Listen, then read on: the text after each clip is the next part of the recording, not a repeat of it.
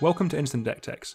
The aim of this series is to give you a short, concise guide on how to build a certain deck. It won't cover every card, but we'll go through all the categories and go over the types of cards needed to make the deck work. Any card mentioned will be down in the description below.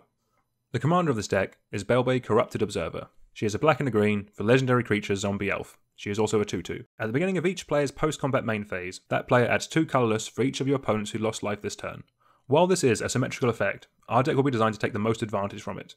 The aim of this deck is to take advantage of this ability to put ourselves into an early lead, and then use stax and control effects to squeeze our opponents so they can never catch up. We want to run a number of drain effects on low drop spells, and we're looking for effects that hit each opponent to get the most out of Belbe. The best ones are attached to one drop creatures. If we play these on turn 1 and then Belbe on turn 2, we can generate 6 colourless mana to ramp out a colourless payoff. We also need to run some repeatable drain effects, which while less explosive, will do a lot of work as the game goes on. They'll bring down our opponent's life totals and repeatedly trigger Belbe. A lot of things will be dying with this deck. These drain creatures will serve as a win condition and will help us to trigger our commander without having to attack. Across all these categories, you want at least 16 of these effects. Some will spill over into other categories as well.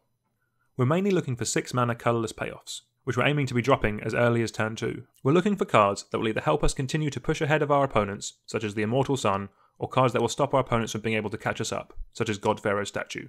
You want between 6 and 8 cards in this slot. The ramp suite in this deck will be different from most, as our commander ramps us, as well as the token makers we'll get to in a moment. We can still run some good artifact ramp, with Cryptolith Fragment among them being the best in our deck. As mentioned, a lot of the ramp will be tied up in our token makers. We will be using the Eldrazi cards that create Scion and Spawn tokens. These we can sacrifice or ramp, or use as fodder for our stax effects. You want between 8 and 12 token makers. You want to run more if you're running less ramp.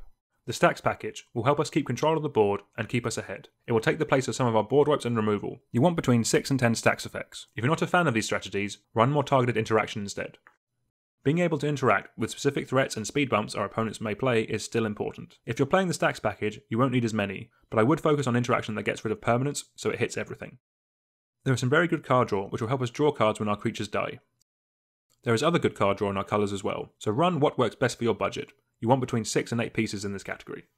Unfortunately, our things will be dying as well as our opponents, so look to run some recursion effects so we can bring them back. In a token deck like this, I'm a big fan of Dread Return. I'd look to run between 2 and 6 bits of recursion. Outside of draining our opponents, we can also run some dedicated win condition cards in the deck. Gigantomancer can be ramped out early and can turn all of our Scions into beaters, and Mazirek as well will take advantage of everything dying. We also shouldn't have any issues sacrificing one of Garruk's walls, so that we can easily get the emblem to turn our spawns and scions into serious threats. With all the mana that we will be able to create, and the fact that we'll be constantly draining our opponents, Torment of Hellfire and Exsanguinate work as solid finishers in this deck. We can also double that life drain with Archfiend of Despair and Wound Reflection. And because this deck will be able to generate a ton of colourless mana, we can also run some big Eldrazi to close out the game. In total, I would recommend between 4 and 8 of these effects. For utility lands, Leechridden Swamp is great as it can drain all of our opponents, Outside of this, look for lands that allow us to sacrifice our creatures for value or ramp out our threats. If you want to add a combo win to this deck, you can look to adding Phyrexian Devourer, Necrotic Ooze, and Triskelion.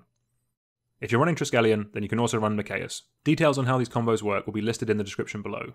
Also with combos, replace some of the card draw with tutor spells so you can get the pieces you need much easier. Thank you very much for watching. Like, share, subscribe, and let us know down below if there's any decks you would like to see a deck tech on.